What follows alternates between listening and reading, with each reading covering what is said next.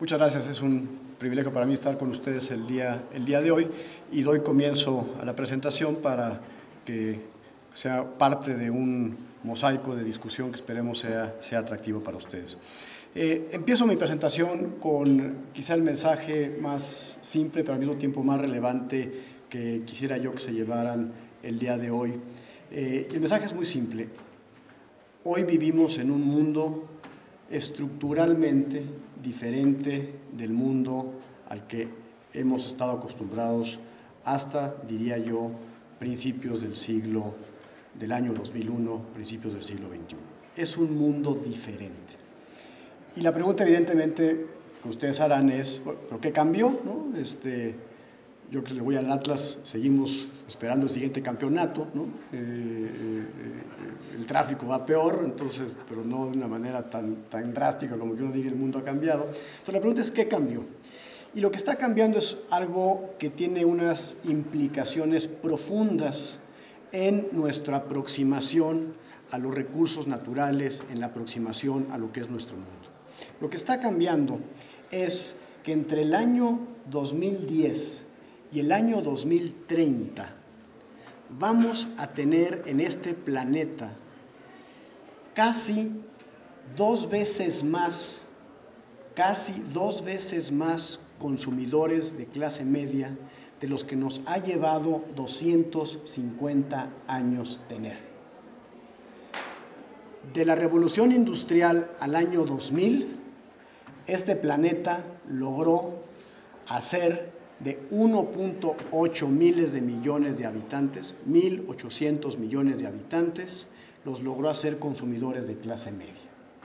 Entre el año 2000 y el año 2030 va a haber 3 mil millones más para un total de 4.800 millones. Y ustedes dirán, eh, ¿y eso qué tiene?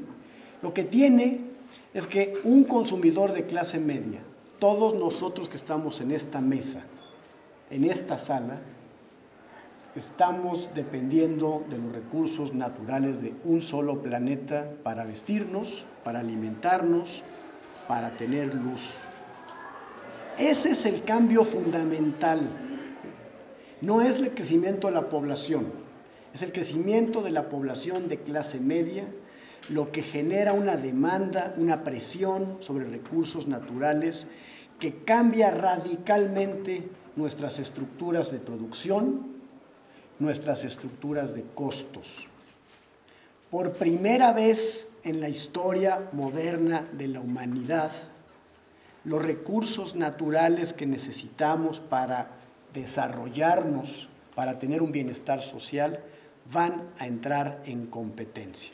Y ahora explico un poco más con detalle. Vamos a la siguiente lámina, por favor.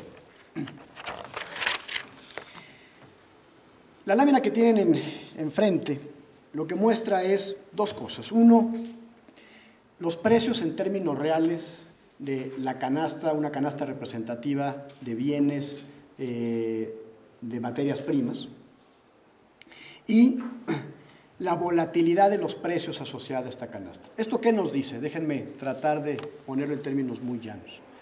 ¿Cómo explicamos el gran desarrollo económico que tuvo la humanidad en el siglo XX? De una manera muy simple. Los precios en términos reales de los productos naturales, de los bienes y servicios naturales, cayeron a la mitad en 100 años. Entonces, en 100 años, si uno hubiera hecho una canasta de productos que incluía energía, que hubiera incluido alimentos, que hubiera incluido agua, que hubiera incluido dentro de energía cosas como carbón, algodón, etcétera, esos productos indizados costaban 100 en 1900. Esos misma canasta de productos costaba la mitad en el año 2000. Y encima de ello, lo que le extrajimos en 100 años a esos productos se multiplicó por 4. Eso fue lo que permitió que hubiera este crecimiento de clase media, permitió también que hubiera en muchas partes del mundo pues unos atropellos ambientales que todavía estamos pagando, pero así fue como nos desarrollamos, así fue como llegamos a 1.800 millones de habitantes de clase media.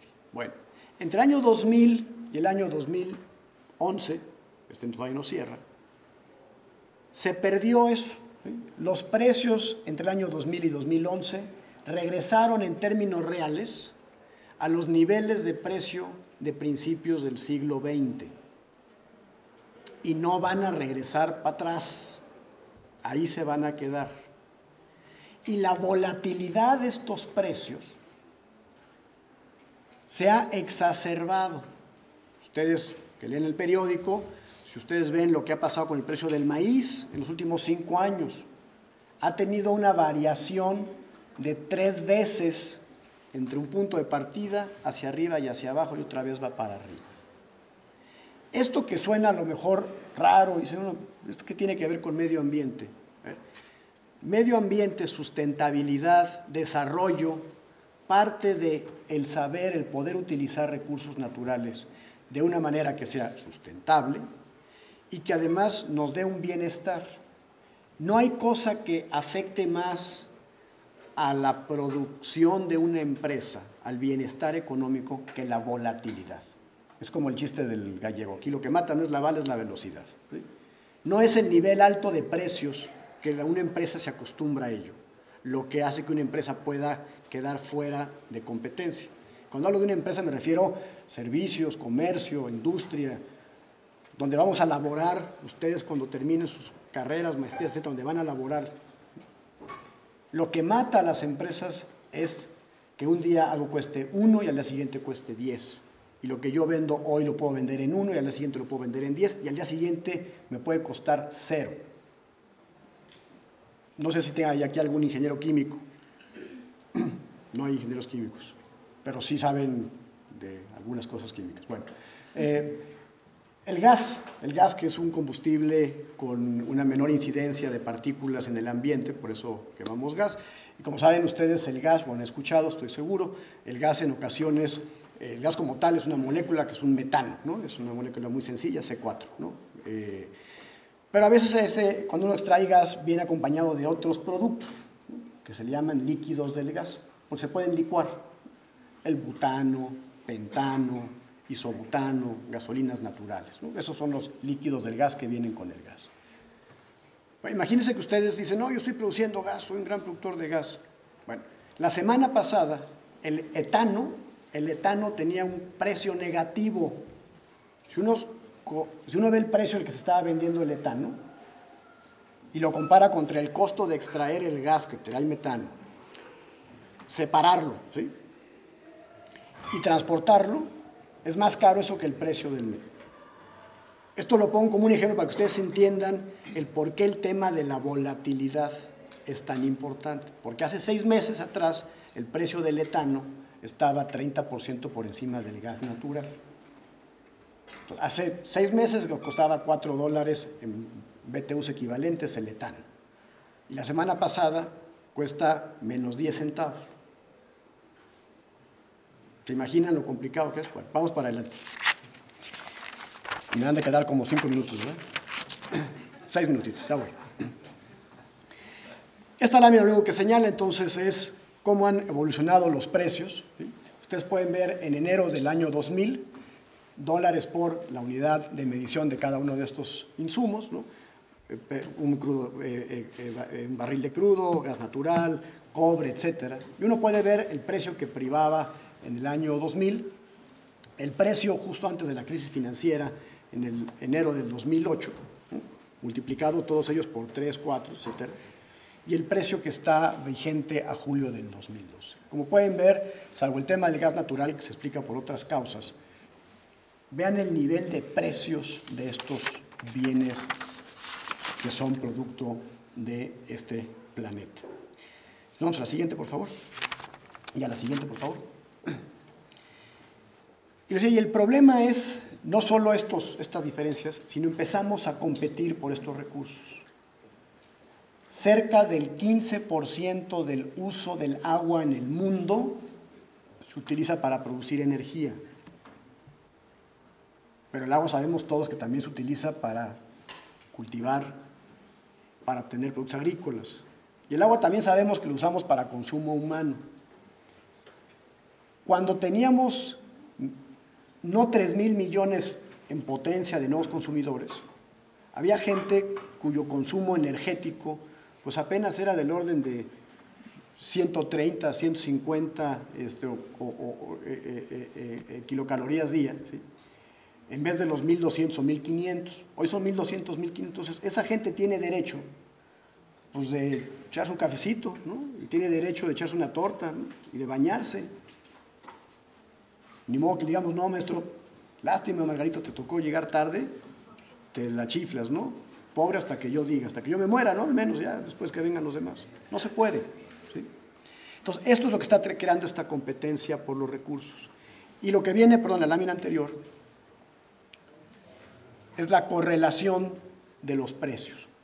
Anteriormente aquí hay tres, tres productos, acero, aluminio y cobre. Sus precios no tenían ninguna correlación, no había competencia entre ellos. Ah, entre el 2010, eh, entre el 2000 y el 2011, la correlación es casi de uno.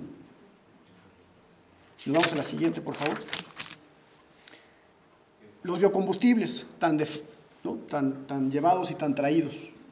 Hasta el año 2005 no había correlación alguna entre el precio de un biocombustible y el precio del maíz. Hoy la correlación es prácticamente de uno.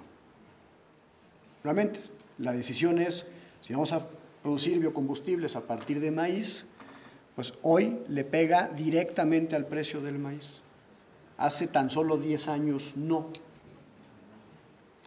Y esto lo que significa es que como sociedad, como gobiernos, las decisiones de política en materia de desarrollo económico son de una trascendencia extraordinaria. Decisiones que nuestro querido país y nuestras autoridades y todos como sociedad tenemos que tomar en los próximos años ¿Cuáles quieren que les diga? Queremos desarrollar, han escuchado ustedes, han visto en el periódico que tenemos, México tiene las terceras reservas más grandes de algo que se denomina shale gas, que es gas que está en rocas de lutita. Bueno, un pocito de, shale gas demanda entre 15 a 20 millones de litros de agua, un pocito. Nuestras reservas están en el estado de Coahuila, Tamaulipas, que no necesariamente, particularmente Coahuila, es reconocido por tener grandes lagos y hay una escasez tremenda de agua. Como país, ¿qué vamos a hacer? ¿Queremos desarrollar esas reservas? Eso tiene una implicación sobre qué vamos a hacer con nuestra política agropecuaria. Otra decisión que queremos tomar, ¿queremos irnos a gas? Bueno, este, no tenemos suficiente producción de gas, estamos importando gas. No, no, gas no, queremos, nos sobra combustóleo, nos sale por las orejas combustóleo, por eso hay que hacer una nueva refinería, que no es cierto, pero bueno, que hacer una nueva refinería donde sale combustóleo por las orejas. Bueno, pero el combustóleo nada más produce tres a cuatro veces más partículas eh, y tres veces más CO2 por BTU que el gas. Ese es el tipo de decisiones que estamos enfrentando hoy. O sea, no son decisiones teóricas del libro de texto, son de política, política energética y de desarrollo de nuestro país. Nuestro bienestar, nuestro bienestar depende de ello.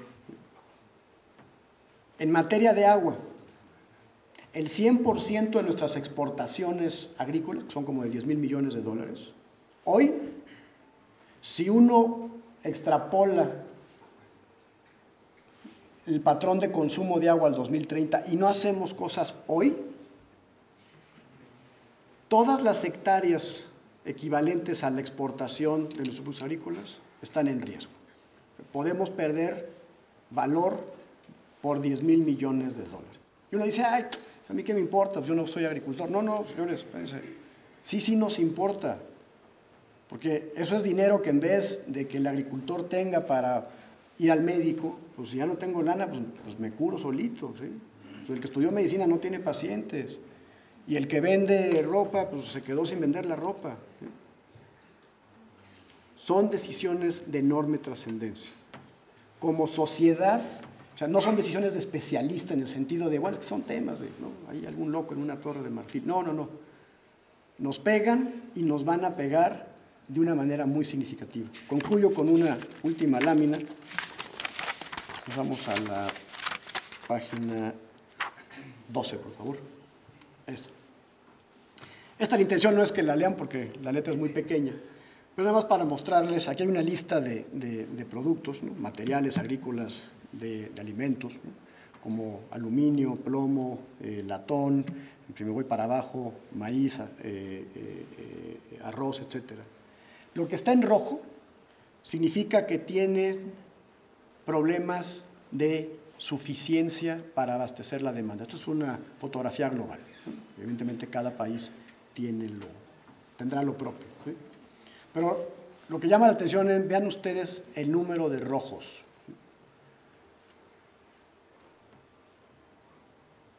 Durante el siglo XX yo diría que muchos de los conflictos que conocemos tuvieron su origen en la guerra por recursos energéticos, petróleo particularmente. Digo, no es gratuito que pues, todos los que tenían este, tres piedras para agarrarse a cocolazos están metidos en el Medio Oriente, los rusos, los americanos, los europeos, y es, y era por el petróleo. Pues eso es como que el prólogo, maestros, eso es nada comparado con esto. Las implicaciones geopolíticas que va a tener esto, la búsqueda de los recursos. China, como ustedes seguramente lo han leído, lleva 15 años haciendo inversiones muy significativas en África particularmente, tratando de asegurar recursos. Entonces la idea no es asustarlos, sino es alentarlos a que entiendan la importancia de este tema y que no tenemos manera de zafarnos de él. Es el mundo que nos tocó vivir. Pero es un mundo con extraordinarios retos que evidentemente para aquellos que empiezan sus carreras profesionales, su actividad profesional, pues qué envidia. Eh, a ustedes les tocará arreglar las burradas que hemos hecho los que hemos pasado antes que ustedes. Muchas gracias.